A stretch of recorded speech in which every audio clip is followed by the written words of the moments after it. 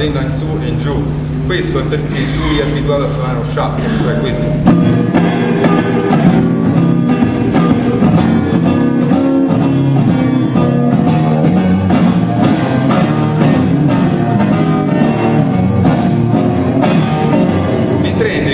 Non, non suona mai così, Hendrix suona tutto da sopra, come rock, cioè non c'è in Hendrix il tempo shuffle. Eh, Anche, per- ma- anche perché penna- pennava tutte le. cioè con lo shuffle si pennano diciamo abbastanza 3-4 corde, invece lui faceva. No, perché faceva- viene, viene dal rock, Eh, eh, c'è sì. questa tutto da sopra, anche quando voi pensate a un pezzo come, come Stonfrey, no? Stonfrey è fatto così.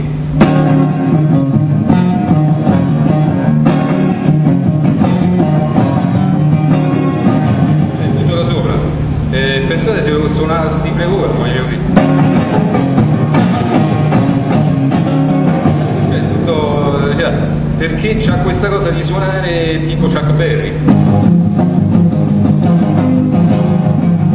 Come i vecchi, i vecchi roccaroli, anche quando fa.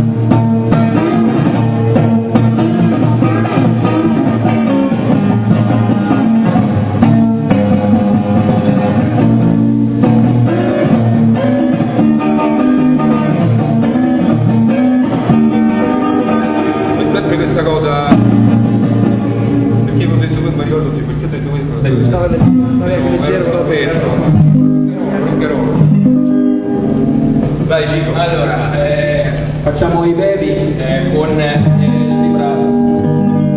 Ma sei sicuro del vibrato però? Vibrato. È più figo. La prendo responsabilità.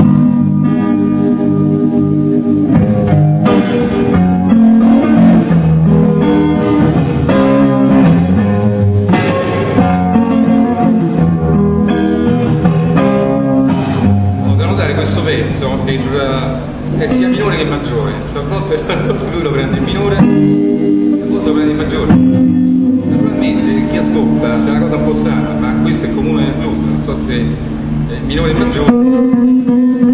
Eppure lui quando, quando suona non prende, non prende mai la, la, la pentatonica maggiore, questa qua,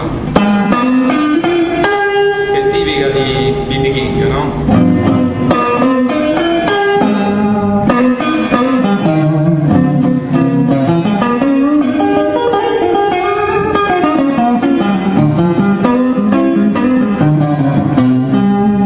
Invece tende a prendere sempre il minore.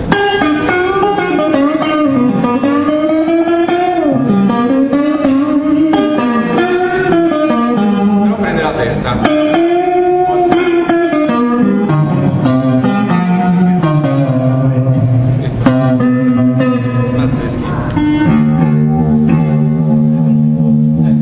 Questo, è l'effetto che... Dai, questo è massimo che sarà per fare un Come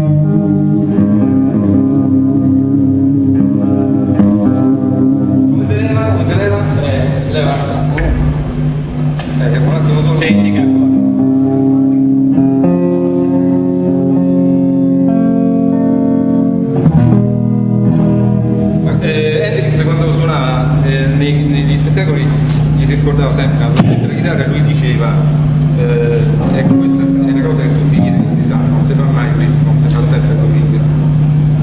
Eh, eh, che soltanto i cowboy hanno la chitarra sempre a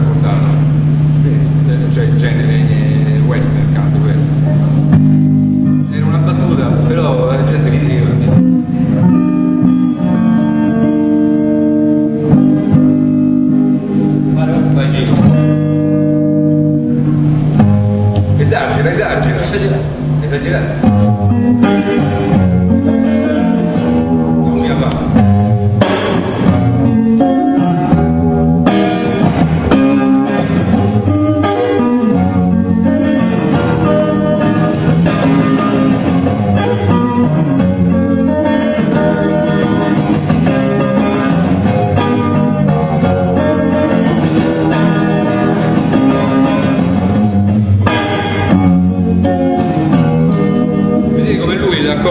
splitta, prende, prende il basso, è proprio è una, una maniera di comporre, lui sempre prende.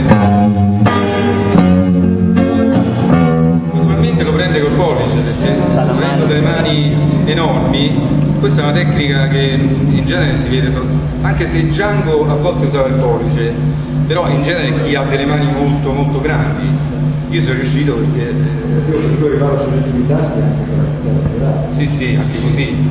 Sì sì no è facile è vero. Io l'ho girata anche nel senso trucco però ecco io sono riuscito diciamo a abituarmi all'idea di, di usare il pollice anche se Prevoca del resto usava questa